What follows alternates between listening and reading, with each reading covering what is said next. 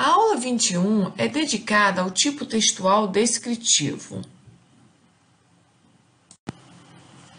Como já enunciamos é, na aula 19, nós estamos trabalhando com a classificação do Marcuski, que cita cinco tipos textuais: descrição, narração, exposição, argumentação e injunção. Nesta aula, nós vamos trabalhar com o tipo textual é, descritivo. O que é o tipo textual descritivo?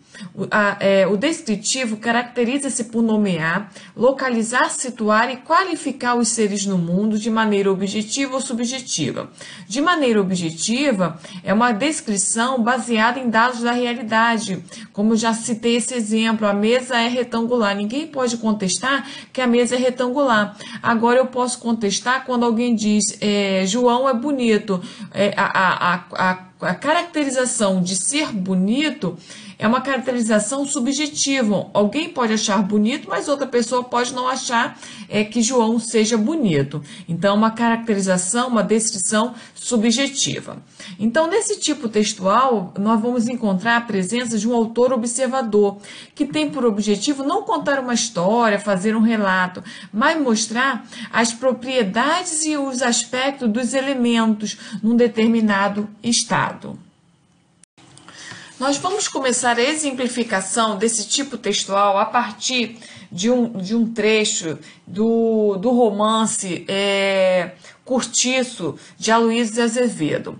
Agora observe que o romance em si ele é predominantemente é, um texto narrativo, né? Só que é, a gente trabalha com a questão da predominância, mas mesmo em um texto predominantemente narrativo, nós podemos encontrar passagens descritivas. Então, é essa passagem que nós selecionamos, ela é basicamente descritiva. Então, vejam. Rita havia parado no meio do pátio. Cercavam-na homens, mulheres e crianças, todos queriam novas dela. Não vinha em traje de domingo, trazia casaquinho branco, uma saia que lhe deixava ver o pé sem meia, num chinelo de polimento com enfeites de marroquim de diversas cores. No seu farto cabelo, crespo e reluzente, puxado sobre a nuca, havia um molho de manjericão e um pedaço de baunilha espetado por um gancho e toda ela respirava o asseio das brasileiras e um odor sensual de trevos e plantas aromáticas. E requieta, saracoteando o atrevido e rijo quadril baiano, respondia para a direita e para a esquerda, pondo à mostra um fio de dentes claros e brilhantes que enriqueciam sua fisionomia com um realce fascinador. Então vejam, um romance não é um gênero textual predominantemente descritivo. Pelo contrário, em um romance, o autor narra ações desenvolvidas por personagens, produzindo um texto narrativo. Porém, como nós já vimos na aula 19, estudamos que os tipos textuais podem também aparecer de forma mesclada em um texto. É o que acontece, por exemplo, no romance. Então, quando lemos esse trecho extraído do romance O Curtiço, vemos de imediato que se trata de um texto narrativo porque notamos logo nas suas primeiras frases uma das características básicas do tipo narrativo, que é a sequência cronológica marcada pela sucessão de ações indicadas pelas formas é, verbais. Havia parado, cercavam, queriam. Mas em seguida, há uma interrupção desse texto narrativo pela introdução de um segmento descritivo. Olha o que, o que eu sublinhei, ó. Traje de domingo, é, trazia casaquinho branco, uma saia que lhe deixava ver os, o pé, semeia no chinelo de polimento com enfeite de marroquim de diversas cores, no seu farto cabelo crespo e reluzente, puxado sobre a nuca, havia um molho de manjericão e um pedaço de baunilha espetado por um gancho, é, toda ela respirava o asseio das brasileiras e um odor sensual de trevos e plantas aromáticas. Ela estava irrequieta, o quadril era rijo quadril baiano, tinha dentes claros e brilhantes. Então a gente pode afirmar que esse último trecho é descritivo e que nele o autor, então, Aloysio Azevedo, que é o autor observador, ele vai retratar uma personagem feminina, que é a Rita Baiana. Ele descreve fisicamente, inclusive, mostrando a sensualidade da personagem, quando ele diz, por exemplo, e toda ela respirava um odor sensual de trevos e plantas aromáticas, e requieta, saracoteando o atrevido e rijo quadril baiano. Então aí a gente percebe uma personagem sensual. Além disso, para descrever, nós utilizamos substantivos adjetivos: traje de domingo, casaquinho branco, farto cabelo, crespo e reluzente, fio de, fio de dentes claros e brancos.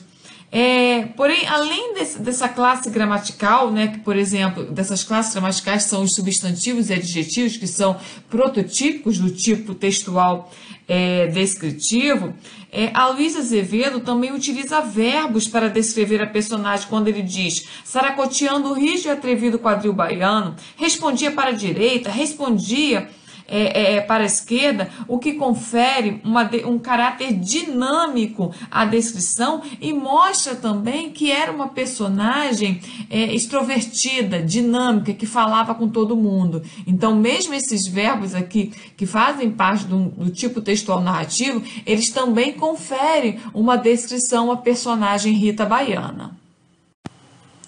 Na primeira atividade, na página 99, Pede-se, dentre os textos a seguir, qual ou quais são predominantes descritivos. Identifica alguns elementos organizacionais e estruturais dos textos que nos permitem classificá-los como descritivos. Então, o texto A é um resumo de novela, o texto B é uma programação de TV, o texto C é, é, um, é, uma, é uma informação sobre o tempo, e o texto D é um classificado de, de, de jornal, né? Então, todos esses quatro textos são predominantemente descritivos. O texto A é um resumo de uma novela com o objetivo de narrar a história, mas descrever as cenas. Ele não tem o objetivo aqui, é, é, no jornal, quando aparece o resumo de uma novela, o objetivo não é narrar a história, mas descrever as cenas de um capítulo. O texto B já é o resumo da programação de uma emissora de uma televisão. Então, os programas são listados na ordem que são exibidos. O texto C é que vai trazer informações sobre o tempo, então daí ser um texto descritivo. E o texto D é um classificado jornal em que o autor procura mostrar as características do produto que deseja vender. Né? Então ele coloca lá as características do carro. O carro é, é, é um palio Fire, prata, quatro portas. Então ele traz as características desse, desse automóvel. Então, você deve estar se perguntando por que, que o textual, o resumo das novelas, é um texto descritivo e não um texto narrativo. O tipo textual descritivo também pode utilizar verbos de ação, que são marcas próprias do tipo narrativo como nos textos de receitas de cozinha, em que se descreve uma sucessão de ações, fazer, pegar, pôr na água, descascar, etc. Então, as categorias de língua, substantivos, adjetivos, verbos e advérbios e outras mais, não são suficientes para determinar um tipo textual. É preciso ainda levar em consideração a finalidade desse gênero. Então, é, é, o resumo de uma novela, ele não tem por finalidade contar a história, senão perde a graça. Ele tem por objetivo descrever algumas ações que acontecerão num determinado capítulo da novela. Então, em todo tipo textual descritivo, nós vamos perceber a presença de um observador e de um tema núcleo. O observador é aquele que observa o objeto, a cena e faz a descrição, e o tema núcleo é, é, é sobre o que se descreve. Né? É, a descrição é sobre o que? É, é uma paisagem, é um ser então, esse tema núcleo pode ser um objeto, um ser animado, inanimado, ou até mesmo um processo, um conjunto de dados, né? Como, por exemplo, de uma receita culinária, que nós temos ali um processo, né? Que será descrito. Bem, então nós temos aqui é, três exemplos, três textos. Nós vamos identificar em cada fragmento de texto segmento ou segmentos que servem para descrever. Então vejam só, no primeiro segmento nós temos a mulher chamava-se Piedade, também é um personagem do romance Curtiço de Aloysio Azevedo.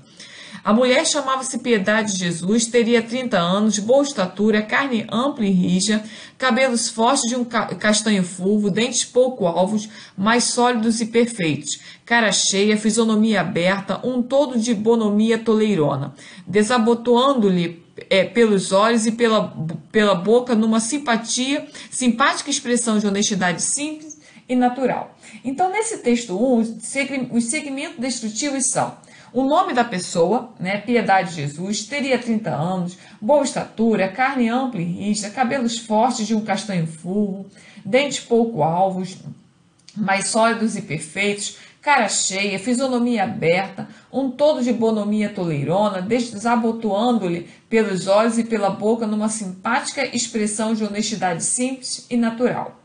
Nesse, nesse tema, já respondendo a questão 2b, que pergunta qual é o tema núcleo desse exemplo, o tema núcleo é a mulher, piedade de Jesus, é ela que está sendo descrita é, nesse primeiro segmento.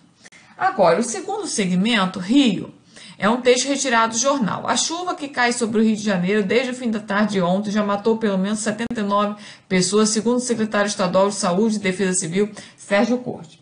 Nesse segundo segmento, nós temos vários segmentos descritivos, como por exemplo, onde acontece? Rio. É, depois, Rio de Janeiro. É, em que tempo? Desde o fim da tarde de ontem. É, matou pelo menos 79 pessoas. Secretário Estadual de Saúde e Defesa Civil, Sérgio Cortes. Então, são segmentos descritivos.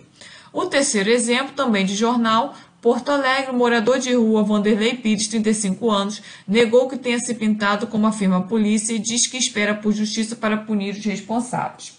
Então, nesse terceiro exemplo, nós temos os seguintes segmentos descritivos: Porto Alegre, morador de rua Vanderlei Pires, 35 anos.